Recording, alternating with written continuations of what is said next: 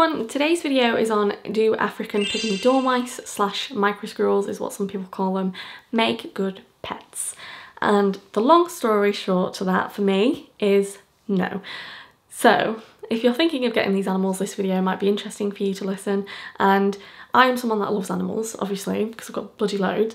And I enjoy things that a lot of people don't. For example, the hedgehog, I think is so so unique and so fun to care for and I really enjoy looking after her. But people have come to see her, like my mum, she was scared of her. She didn't like her. She was like, oh, don't like that. It's just like huffy. So people like different animals. Maybe sort of a video where it's like what I wish I knew before getting microsquirrels. So why did I get them if I don't particularly like them?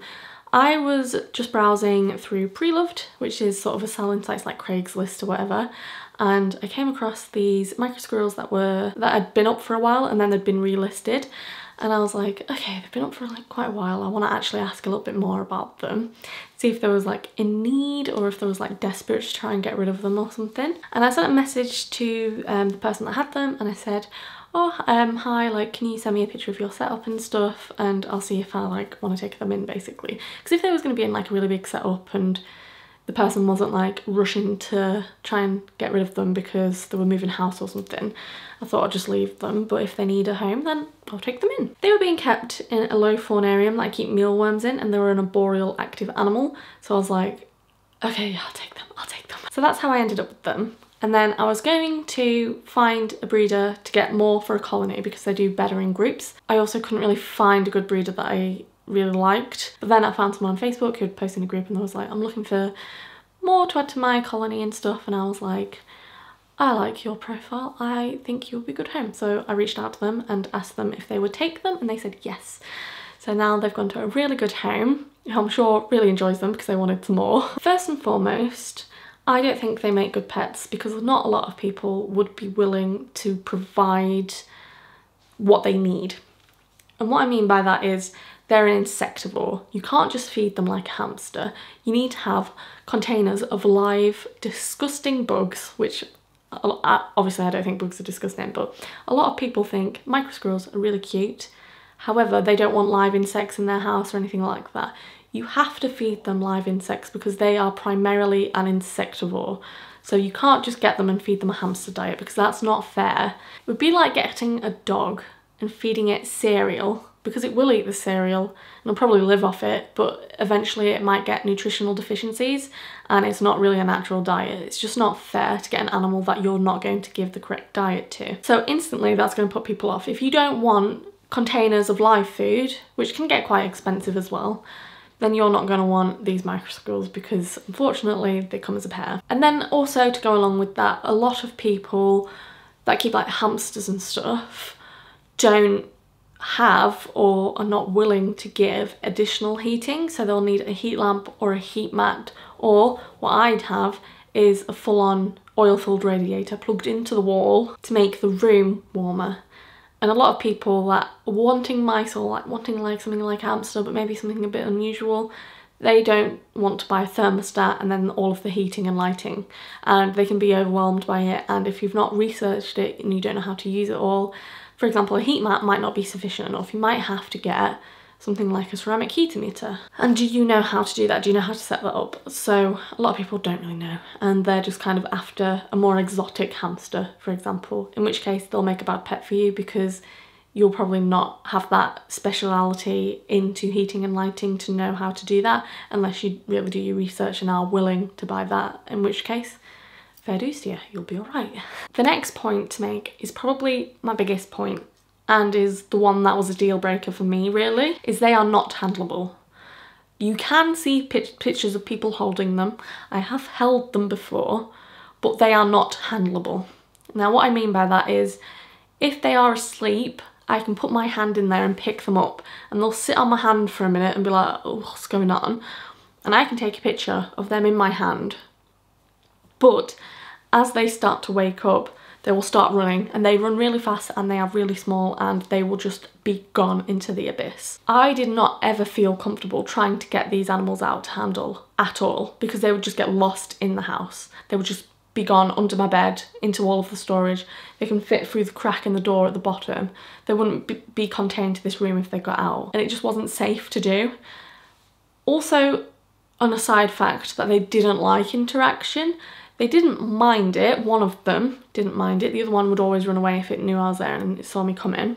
One of them would come to the front of the cage. Now, I only managed this through it being greedy and conditioning to see me as food. So it would come to me to get food off me and I could touch its head a little bit and pet it, but it wouldn't ever want to be picked up. And the other one didn't want anything to ever do with me. And also, sometimes if I, for example, I had to change them into a different enclosure, or if I was cleaning them out, I would move them into just like a holding container whilst I cleaned them. Just because if I've opened this door and took it off, and they wake up and start running around, they're gone again. And several occasions I'd try to scoop them up with a bit of bedding to like try and not disturb them, they would still wake up and they would bite. They would bite really, really hard. and I, they didn't break through skin, but they could have done. They could have broken through skin. Now, some of these individuals may tolerate handling. May. If you get them from a breeder who has handled them a lot from a baby when they're developing and it's like that time where they would tame down like that, and then you really stick at it and you really get them out a lot, you might get one that will come out onto your hand and then go back into the cage and just come out like that. However, they are so fast that even in that instance, it would stress me out to try and get them out of the enclosure. I think I'd be alright with it because obviously if they're friendly and that I'm not actively running away from you and will come back to you, it would be alright. But it's very rare that they're like that. Mine were very normal. They weren't really unsocialised or anything because I'd seen photos of them with the children and the children were holding them when they were babies. Obviously, I think maybe one of the reasons why they didn't want them anymore, they said it was because they was getting a puppy so they didn't have time for them anymore. But I think probably one of the reasons is that they could no longer handle them because they'd grown up a bit, hit maturity and now were just unruly. They just would not be handled and it didn't give them the same enjoyment as they once did. So yes, some of them might come onto your hand. However, it's rare and most of them don't want anything to do with you. And you can have the most wonderful, tame little creature in the world that you get from a breeder and then still hand tame them. But when they reach maturity, they just don't want anything to do with you. And I did not enjoy that. I like to interact with my animal. I mean, even to a degree, the tarantulas obviously don't like me or anything. But when it's a mammal, I just would enjoy normal mice better, just like a normal mouse that came onto my hand and I could handle. If you don't mind that they won't come near you and you have to sit in the dark at a really far distance with your glasses on to watch them in the distance, which is what I did sometimes, then they'll be a good pet for you. But if you want something like a mouse, but want something more unusual, it's not the same, it won't work the same way. And yes, you see pictures of people holding them, however, I think a lot of them are sleepy or it's very rare that they're actually really friendly like that. Some people also suggest, you know, put them in a bonding pouch and they'll be alright. I wouldn't have even been able to properly get them in the bonding pouch without them hating life. So I don't think a bonding pouch would have really even helped in my situation. I don't think I could have even got them into the pouch. And if they did eventually settle down into the pouch, I think it would have just been learnt helplessness. They would have just gone in and been forced in and then just gone to sleep because they had to and there was nothing else to do and they were just trapped in there. Another negative is because of the handling, they are really hard to health check. So if they have a problem or you have to give them medication or you want to make sure they're okay to check check on them and stuff or check their teeth. I wouldn't have been able to check their teeth. I wouldn't have been able to do any of that. Uh, to like the thought of having to catch this animal to give it medication you know, antibiotics or pain meds or anything if it hurt itself, God forbid. But I would see that as a very big struggle. That would be really difficult to do. My vets did say that they would see them. However, they told me that they wouldn't see the African pygmy hedgehog. And I said, but my species of mouse is not a normal mouse species. And they said that it didn't matter. But I think it does matter. And I think that when I brought it in, they'd be like, what the hell have you brought me? So I had to register it with the one that does the reptiles rather than the normal vets. And it's because this other, the reptile specific one is like a lot longer of a drive compared to like the local ones like literally down the road. So I just like rang them to see if they had like experience or whatever, because it would be loads easier in an emergency specifically as well. When I said hedgehog, she was like, no, no, we do not see any exotics here, like hedgehogs or reptiles or anything like that. So I was like, okay. But she said she saw African pygmy dormouse. And I was, I don't think, I don't think they would have done. So, but this vet does take normal exotics like rabbits and guinea pigs and stuff like that, and the cat also goes there. So, you will need a specialist vet, and not all of them take it, and you'll have to find a reptile vet that does like the unusual exotics because I don't think that they actually do see them in normal vets, even vets that see like rabbits and guinea pigs and hamsters and stuff like that. Another reason is they may breed, so you may have to just find loads of homes for them. And let me tell you, it was very difficult to find a home for these micro squirrels. There isn't really any market for micro squirrels unless people already have micro squirrels. So I thought it was kind of unusual when I saw these up for rehoming in the first instance. I was like, this is like quite a rare mammal. That's like really interesting. However, when I joined the Facebook group because of it, because I wasn't just in it anyway, sometimes I'm already in these groups just because I'm interested in the animal. I wasn't already in this group there were so many babies just going to like for homes because this is one of the hardest rodents to sex. So a lot of people were getting sisters, which turned out to be brother and sister, and they had loads of babies now. And a lot of people were just keeping the colonies in like family breeding groups and then just trying to get rid of all of these babies and they didn't know who was male or didn't know who was female. And it was just madness. It's just madness. I've never quite seen inbreeding like on the micro squirrels page or like accidental litters because obviously people don't generally mean to have accidental litters anyway but with micro squirrels you just kind of accept that maybe they're going to breed together like you get two of them as a baby specifically because when they're an adult it's a little bit easier to tell. I don't know any other mammals where you get siblings and hope for the best and just hope that they don't breed because you can't really tell because you'll most likely get babies if you buy babies um, if you buy more than one and the chances are they might be mixed sex. So unless you don't mind just risking it, look out for like an adult that's already confirmed but yeah that is another reason why I don't think they make good pets for a lot of people. Another reason is they smell weird. A lot of the animals I don't even notice has a scent. I like the smell of rabbits. You know when you go into Pets at Home and that smell of specifically Pets at Home where it's like wood shavings and hay, I love that smell. Bloody love it. And the cat as well. Like sometimes we'll be snuggling I'll be like, oh, you smell so cute. She just smells good, you know what I mean? But like obviously with pet care comes smelly things like the cat's litter tray. The micro squirrels I noticed no foul smell to them, but their existing natural state was weird. It was like fruity, but not pleasantly fruity. It was kind of like, well, it wasn't unpleasant either. Was just really strong and specific, and I don't know how to describe it. Kind of like in like a gummy way, like a, a bag of gummy sweets that you like sniff, and they smell kind of fruity, but they also smell kind of vin vinegary and kind of just weird. Really can't describe the scent of it. They just they just have a smell to it. So if you don't mind the smell of weird fruit, you'll be alright. And finally is the enclosure size for them is smaller than the minimum for normal mice, and I don't think it should be.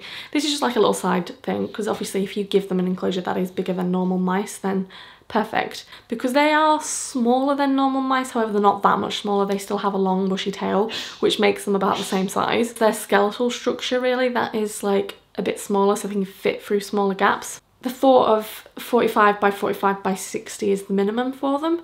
45 centimetres to explore is not that big. And it doesn't make much sense to me. So the minimum for a pair of mice is um, 80 by 50. And I think that should be for micro squirrels as well. So in the end, I did end up getting them a temporary enclosure, which was 80 by 50. And it was also 80 taller. I want to say off the top of my head, I'm not 100% on that one um, just so that because they're arboreal and can climb. And that was the Savic Zeno 1 and then there's a Savic Zeno 2 which is what I would have upgraded into if I'd got more for a colony which is 100 by 50 by 100 or something like that so it's much bigger. It was okay for adults to go because it's barred you see but if there was babies they could probably squeeze through the bars. So if you're breeding or if you have an accidental litter it's going to be inappropriate so you have to go back to that glass one. But I do think a lot of emphasis is put on a smaller glass tank because it's safer but it's smaller because it's way more expensive.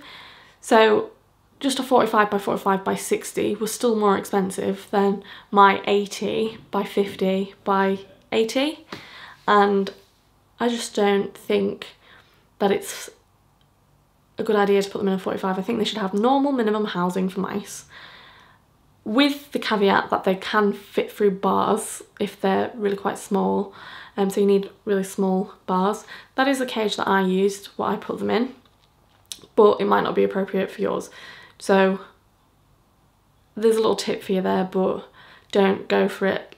Get your squirrels loose and then blame me, basically. And if you're listening to that minimum and have them in a 45 by 45, um, I don't, I think that's just normal because that's what everyone advises, but I don't think it's a good thing to be advising or like to follow. I think it should be following advice for normal mice, but needing that height as well because they're arboreal. So that is why I don't think they make good pets. I'm sure there's loads of other reasons why um, they won't make good pets for some people as well. Oh, this could be a benefit, but it could also be a negative. They can live up to six years. I haven't seen one past six. The oldest I've seen someone say in a group that they have is a six-year-old. So they can live up to six, I believe but you can never really know if someone's lying or anything and I never kept them for the whole time so I don't know if that's exaggerated and it is like a normal mouse lifespan, but um, up to six, and the oldest I found in the group was six. So that is how long their lifespan is, which can be a positive. Sometimes it can also be a negative. For example, if you're looking for a small animal and you know in a few years you might move house or like move on with your life or something. So um, an animal that lives between one to three years is ideal because you're going to be in the same situation for that amount of time, but you won't be if you have an animal for six years, then it's good that they live a long time, but sometimes it's not good that they live a long time if you want something that is gonna, you know, suit your lifestyle now, but not in the future. So when would they make a good pet? I think they'd make a good pet for you if you don't get stressed by the thought of never seeing your animals, for one, because you might not ever be able to catch them or see them. Um, you don't care that you'll never handle them. Um, you will provide them with insects in their diet or invertebrates in their diet and you will provide them additional heating and you will provide them with an enclosure that is at least 80 by 50 by 60, 60 minimum because 45 by 45 by 60, we'll go with 60. So thanks for watching, please leave a comment down below, let me know if you like squirrels or if you don't think they would make a good pet for you either. thanks for watching, bye.